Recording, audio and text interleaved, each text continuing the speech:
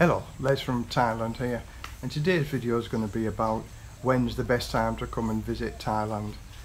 Really any time of the year is good to come and visit Thailand.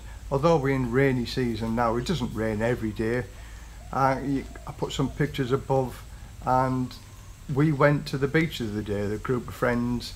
We took a barbecue, some seats and a few beers and we had a, a pleasant day sat by the beach and this is during rainy season so you still get nice sunshine and blue skies. It doesn't rain every day, so if you came on holiday during rainy season, you're not going to have two weeks of rain every day. It's actually welcome the rain because it cools everything down for a little bit and, it, and it's nice and it's actually good to watch. I didn't think I'd ever say that about watching the rain, but coming from the UK, we had so many rainy days. I look forward to the sunshine.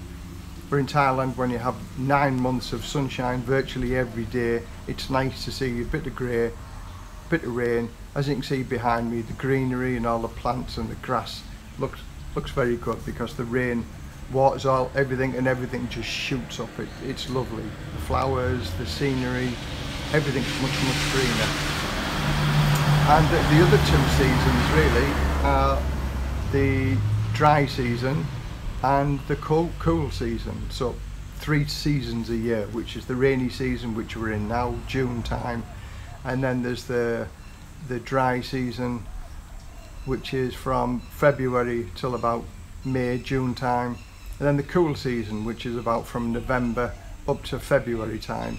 And the cool season is very pleasant. It's still in the high 20s to early 30s, and uh, but it's not as humid like it is now in, in the in the wet season or the rainy season. So visiting Thailand anytime.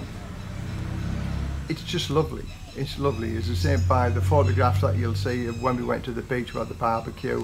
Food is so cheap here at a barbecue. As you can see, the big prawns, we had spare ribs, we had chicken, we had vegetables, and the girls all cooked all the food. And it was a fantastic afternoon. and very very cheap. So if you're living here on a budget and you have a group of friends going down to the beach and having a, an afternoon out it's next to nothing.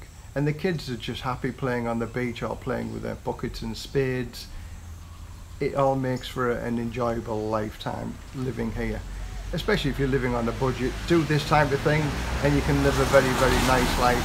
And it doesn't and it's never going to cost you a lot of money at all I think the whole day cost us about three or four hundred baht and that included the, the drinks and the food and the charcoal and everything that went with it.